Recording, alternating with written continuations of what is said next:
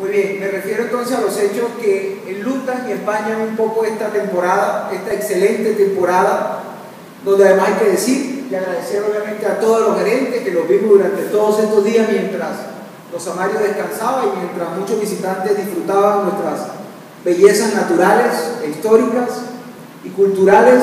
Todo este equipo estuvo trabajando todos estos días precisamente para brindar la mejor experiencia. Sin embargo, hemos visto empañados estos hechos o estos resultados por el triste homicidio de un extranjero.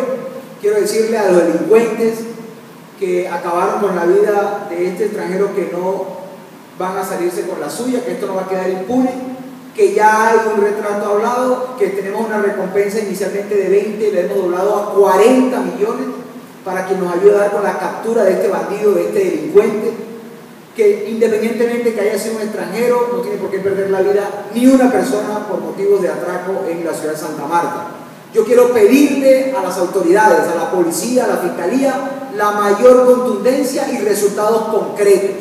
Previamente, el 23 de este mes hicimos un consejo de seguridad, estuvimos analizando las cifras y el comportamiento de la delincuencia en la ciudad que habíamos dado para esa fecha, para el 23 de marzo, unos resultados producto de investigaciones, de operativos, donde se desarticularon varias bandas, entre otras bandas de atracadores, entre otras expendio de droga y consumo de droga, o bienes eh, asociados al expendio y consumo de droga.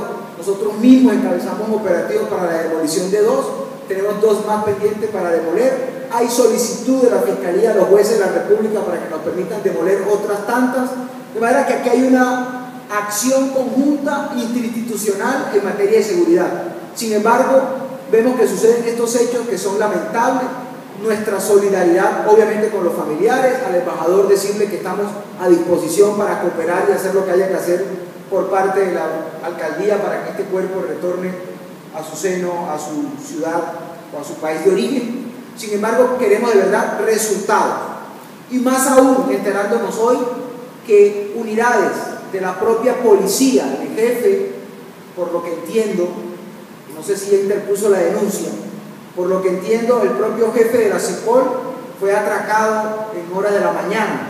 Quiere decir que hay un fenómeno, yo, yo quisiera pedirle al propio comandante de la Policía Nacional que haga presencia en la ciudad, al comandante de la Policía Regional que haga presencia en la ciudad, para que tomen cartas en el asunto.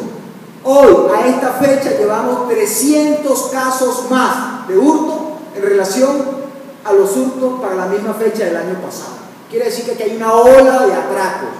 Y no voy a estigmatizar a ningún connacional venido de otro, de otro país vecino, pero está asociado también a la ola de migrantes venezolanos que estamos recibiendo en la ciudad, está asociado a temas de microtráfico, y está asociado a, eh, obviamente, a la desarticulación de bandas que operaban en estructuras con mando, eh, los famosos eh, paramilitares o postparamilitares. Quiere decir que aquí nosotros estamos pidiendo a la ciudad un plan especial, una mirada especial y que retornen a la ciudad los agentes que han retirado, que inicialmente vinieron a ser parte de la Policía Metropolitana.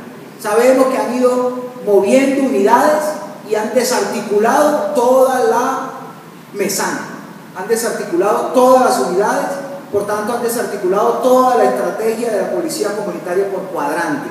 La alcaldía siempre ha estado presta, dispuesta, hemos cooperado, hemos sido solidarios, queremos seguir trabajando con la policía, el ejército, la fiscalía, Migración Colombia de manera articulada, pero ya no podemos seguir eh, guardando silencio frente a unos hechos que son claros y contundentes. Estamos mamados de los atracos.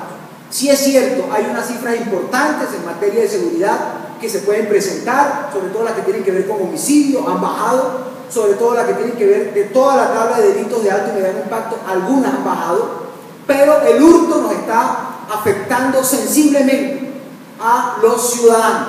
De manera que nosotros en este tema sí queremos eh, expresar la voz en nombre de todos los amarios. Queremos que el coronel el comandante de la Policía Nacional y el comandante de la Policía Regional tomen cartas en el asunto, porque parece ser que a las autoridades locales esto se les está saliendo de control. Y nosotros hemos hecho lo que tenemos que hacer, entregar herramientas, acompañamiento, consejo de seguridad y pedir resultados.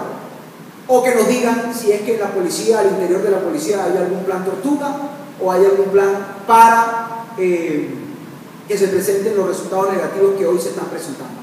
Santa Marta no puede regresar otra vez a ser tomada ni por la delincuencia, ni por la BACRI, ni por, una, ni por ninguna organización al margen de la ley. Así que eh, ese sería nuestro pronunciamiento en materia de, eh, de seguridad. Si hay preguntas. Alcalde, ¿medidas? ¿Van a haber medidas? No, las que estoy pidiendo. Nosotros ya hemos, hemos hecho recompensa, hay una recompensa puntual para el caso del, del extranjero.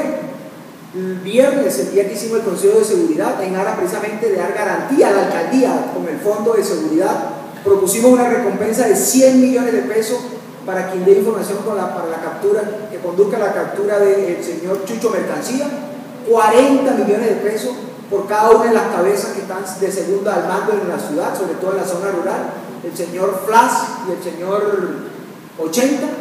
O sea, hemos venido haciendo acciones. Hemos propuesto la circulación de volantes por todo el territorio de la zona rural. Hemos propuesto que se adelanten acciones de extinción de dominio a casas donde se esté comercializando, expendiendo o consumiendo droga. Es decir, acciones por parte de la alcaldía hay. Ahora lo que pedimos son resultados por parte de las autoridades que operativizan todas estas, eh, todas estas decisiones. Pregunta Toby Tobillo, soy yo.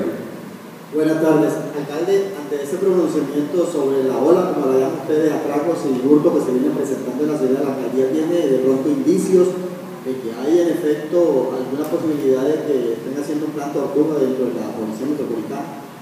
No, nosotros lo que decimos es que de manera eh, inusual hemos visto un incremento en lo que va de este año. Las autoridades, conjuntamente con la alcaldía, digamos que teníamos una situación controlada y nos trabajamos sobre nuestras propias metas, sobre nuestras propias cifras. Sin embargo, solo este año llevamos 300 casos más. Hay una explicación por parte de la policía que hoy es más fácil denunciar, que hemos pedido que se denuncie, que se pueda hacer virtualmente. Sin embargo, hay 300, 300 denuncias de hurto o atraco más que para la misma fecha del año pasado. Eso quiere decir que algo está pasando. O la de policía se fue de vacaciones, o nos movieron a las unidades, o hay un plan tortuga interno, o que nos digan qué es lo que está pasando. Pero aquí no puede ser que vamos a quedar otra vez amedrentados, arrinconados y escondiéndonos de los delincuentes, o que no pueda haber, o que no podamos salir, como le ha pasado al propio, eh, por lo que entiendo, al propio jefe de la CIPOL, que salió a hacer actividad física y fue atracado. Si fue atracado, él, ¿qué nos espera para nosotros?